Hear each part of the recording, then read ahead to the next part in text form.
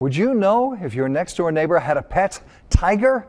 Ohio's new law bans the sale, ownership, and breeding of exotic animals. But tonight, Amber Watson examines whether that law has enough teeth to pre prevent another Zanesville private zoo on the loose. How would you feel living next door to a lion or a cougar? It would make me real nervous. You know, as a parent, you know, you never know when something will escape. Before the exotic animal law passed, there were possibly thousands of wild exotic animals across the state of Ohio. Right now, there are 201 wild exotic animals on record, including this black bear, Betty.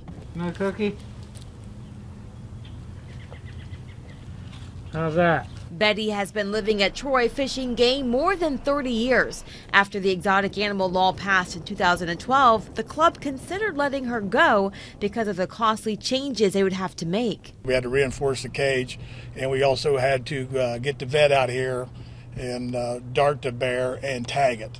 So if it ever got out, they'd know where it was at where it's from. The club decided the $1,500 price tag was worth it, but that wasn't the case for many in Ohio. After the law passed, 150 owners registered 888 animals. However, when it came to getting the actual permit, that number dropped to just 54 owners claiming their exotic animals. I went to the Department of Agriculture to get answers as to where those animals are now. The permitting process is not easy, um, and it's not meant to be. As the, the care and caging standards were developed and passed, started looking at them and saying, you know, maybe this isn't for me, maybe what's best for my animal is that, you know, we move it somewhere else. Soon we may see even less exotic animals in Ohio. Right now, Imagination Acres has a permit for a spider monkey similar to this one. I spoke to the owner off camera and she says because of the law, she's now in the process of getting rid of it, but hasn't decided where it will go.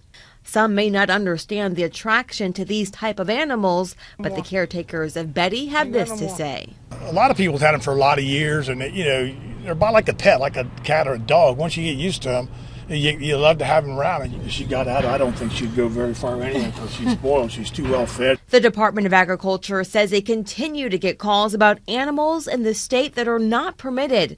They expect to get more calls through the year, but Hawkins says one thing is certain if you call up and say, My neighbor has a bear and they do have a permit, then you at least can know that the department has been out there and inspected their facility. Betty is reaching the end of her life expectancy. The Troy Fishing Game says they will keep their deer, but because of the law, they will not get any more dangerous wild animals.